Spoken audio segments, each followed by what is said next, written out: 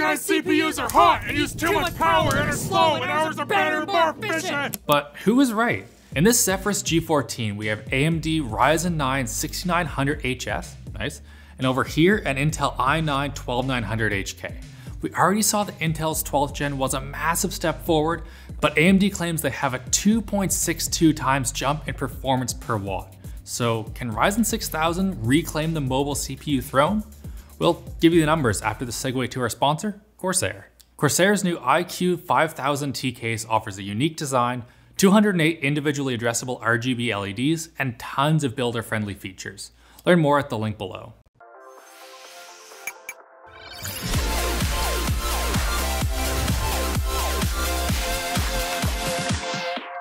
AMD's Ryzen 9 6900HS is an 8-core 16-thread CPU that according to AMD has been optimized from the ground up for exceptional performance per watt.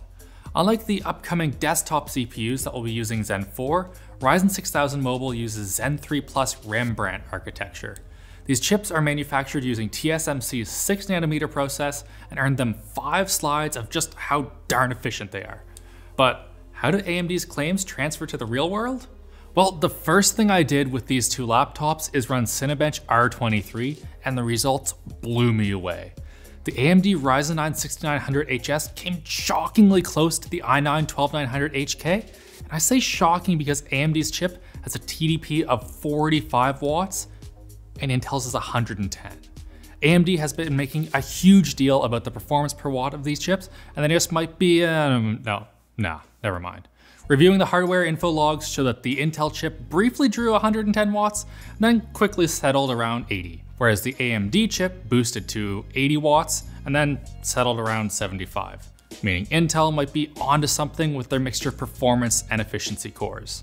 In laptops, the TD specs you see are largely meaningless. The CPU will use however much power is available until either the cooler or the VRMs can't take it anymore, and good thing tech tubers exist, because there's basically no way to know what a laptop CPU will do until someone goes out and tests it. Since in laptops, whoever can get the best performance while using the smallest amount of power wins, I devised a little test. Using the Asus Armoury Crate on AMD and ThrottleStop on Intel, I was able to equalize the TDPs of the CPUs, and then I ran the Blender BMW test to see how well they performed. This way we can start at 70 watts and end at 20 to see which CPU will work best over the largest number of laptops. Out of the gate, Intel took the lead as expected with wins at 60 and 70 watts, but when we got to 50 watts, things started to change. Here AMD took their first win, and after that it was just a bloodbath. The craziest bit is that between 30 and 25 watts, Intel's time increased by a whole minute. That's longer than it takes to order a water bottle at lttstore.com. I would have liked to go further, but at 20 watts, AMD started disregarding the Armoury Crate limits and gave the CPU a little bit more juice. But like, at this point we can pretty safely guess Intel is not making a comeback. I do want to be careful here because it is very possible that Intel hasn't tuned the i9 12900HK to use under about 50 watts of power. In the future, the lower power chips from them might be better in this range, but looking at their lineup, I'm pretty confident in my findings. At 45 watts, Intel will have their P series CPUs with 6 P cores and 8 E cores with a turbo power of 64 watts. But once you get to the U series where the TDP dips below 45 watts, the number of cores drops dramatically. At 15 watts, Intel's i7-1265U only gets two performance cores, and I'm very suspicious that they'll be heavily leaning on the 55 watt turbo power to extract any performance from these CPUs. Meanwhile, over at Team Red, it seems like AMD can just take their 8-core 6900HS and limit the power to whatever TDP is needed, and the performance just scales linearly. What all of this means is that the choice between AMD and Intel could come down to the TDP of the laptop that you're looking for. Intel has the lead in outright performance, so if you need a beast of a gaming laptop with a TDP of over 45 watts, I'd lean towards Team Blue.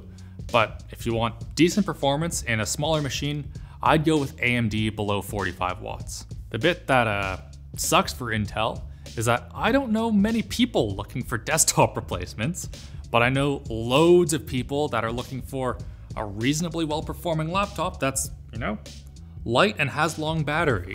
Oh, and speaking of which, the battery life on the 6900HS is excellent. Our last gen Zephyrus G14 with a 5900HS got us 5 hours and 42 minutes away from the wall, while the new 6900HS lasted a massive 11 hours and 11 minutes. Both have 76 watt hour batteries and 2K screens, so my only explanation is that AMD weren't lying with that slide deck. Get subscribed because we'll dig more into this in our full review of the Asus Zephyrus G14 next week. I've only had, uh, what, 26 hours with this thing, and that is not enough time to upload a video claiming it is the best Windows laptop in existence, which it very well may be. What is crazy though is that we haven't even talked about what is potentially the biggest upgrade in Ryzen 6000, RDNA 2 graphics, aka the same graphics architecture in the PS5 and Xbox Series X. Don't expect to be cranking the details in modern games, but at 1080p, you can play basically everything. Like, we managed 85 FPS in Forza Horizon 5 on low details. The Iris Xe graphics in the i9 12900HK only managed 46. Damn. This difference is so massive that for thin and lights, I don't even know if I can recommend an Intel system since you'll have such a better gaming experience on AMD. Honestly, I just can't wait to see what kind of cool gaming devices will come out in the next couple of years that take advantage of RDNA 2. They've already blown me away with the Steam Deck, and hopefully that's only the tip of the iceberg.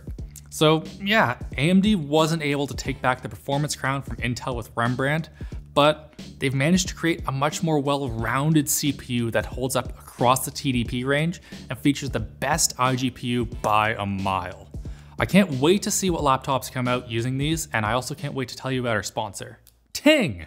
Thanks to Ting Mobile for sponsoring today's video. Do you like saving money? Ting Mobile is a low-cost carrier with rates that help you do just that. Start with unlimited talk and text for $10 a month or data plans for $15 a month. Their Set 12 plan with 12 gigs of data is only $35 a month, and if you need it, unlimited data plans are at $45 a month as well. You can even share your data on a family plan to save even more. Ting Mobile also offers pay-per-use plans and their flex plans charging just $5 per gigabyte. Even with those savings, you'll still get national-wide coverage and award-winning customer service. In fact, Consumer Reports just named Ting Mobile their number one carrier in America. Almost every phone on the market will work with Ting Mobile, and they have the perfect plan for everyone, no matter what your needs are. Check them out at linus.ting.com to receive a $25 credit. So thanks for watching. If you want to watch another video, maybe check out a review of the Steam Deck. It used RDNA 2 in such a cool way.